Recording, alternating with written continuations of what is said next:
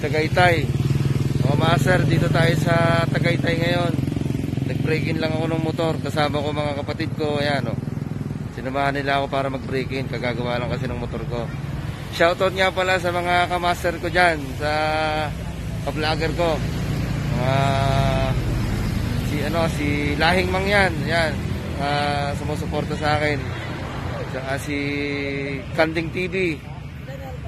Si Kuya Jun, Kuya Jun Angie sa Tagalandayan. Shoutout sa inyo, kay mga tumutulong sa akin. Salamat sa inyo.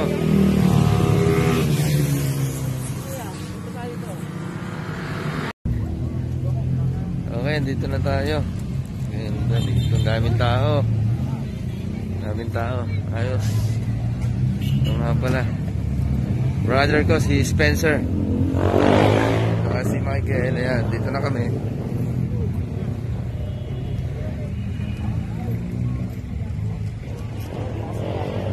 Ayos ang break-in ah.